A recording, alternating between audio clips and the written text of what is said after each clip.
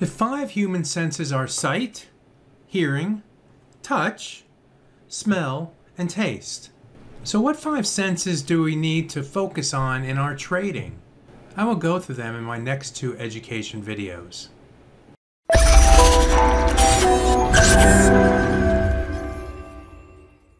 Most of us are blessed with all five senses. We have eyes to see, we have our ears to hear, we have our nose to smell, we have our tongues to taste, and we have senses over our, our entire bodies really to touch.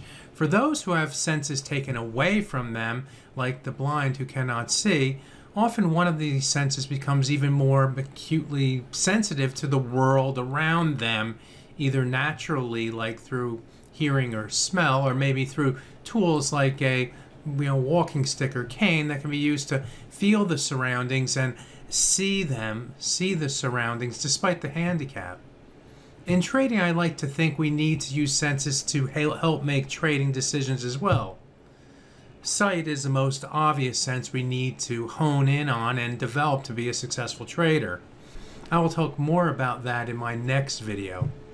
The other senses outside sight may not be as important, but they still have a, a, role perhaps in some of our trading, and I'll go through them now. For instance, I can't touch a trade, but I can feel a good trade when I have one, or I can feel the momentum.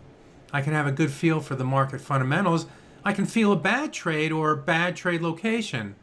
A lot of times, as you get better, your sense of feeling becomes better and better in your trading. Feeling allows you to get out of losing trades quicker. Feeling allows you to stay in a trade longer. Have you ever said, I don't have a good feel for the market now? That triggers the action to stay out of the market, stay out of trading. Touch and trading is not taking your finger and know that it is hot or cold, but it is a feeling. Do you have a feeling in your trading? It takes time, but think about it and think about what you can do to get a better feeling.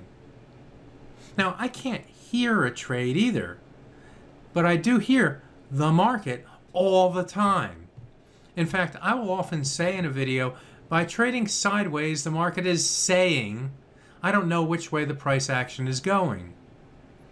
The market should talk to you. It should tell you the bias is bullish or the bias is bearish. It should tell you that here is risk. Admittedly, the hearing comes from seeing often, but trading is a lonely business.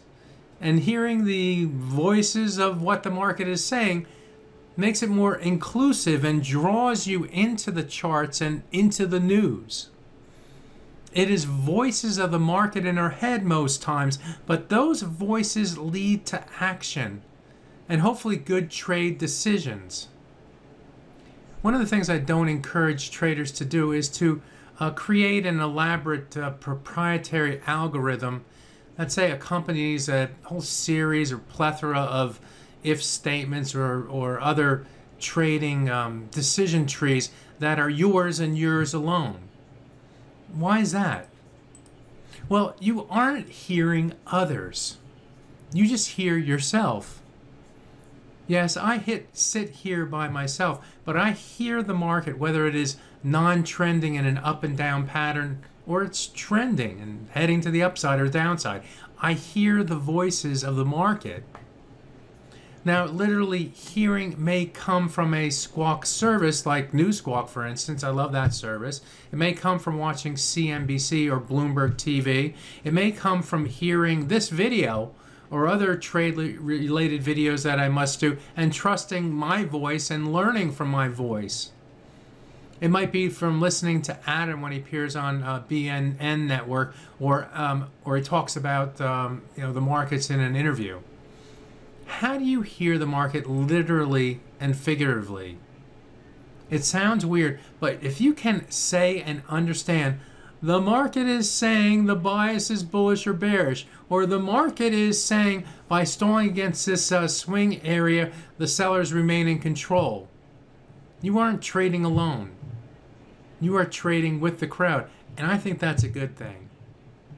Now, tasting and smell, well, I don't want to make too much of a stretch with my sense uh, senses metaphor, but more experiences allows us to smell a bad trade when we get in one. Especially when risk is defined and limited ahead of time. I know a stinker when the price does not do what I expect it to do. And tasting, well, I will leave that sense for someone else to define. In my next video, I'll talk more about the sense of sight and its importance in trading. What do I see and why? What do you see and why? Let's explore it in the next video. My name is Greg Michalowski. Good fortune with your trading.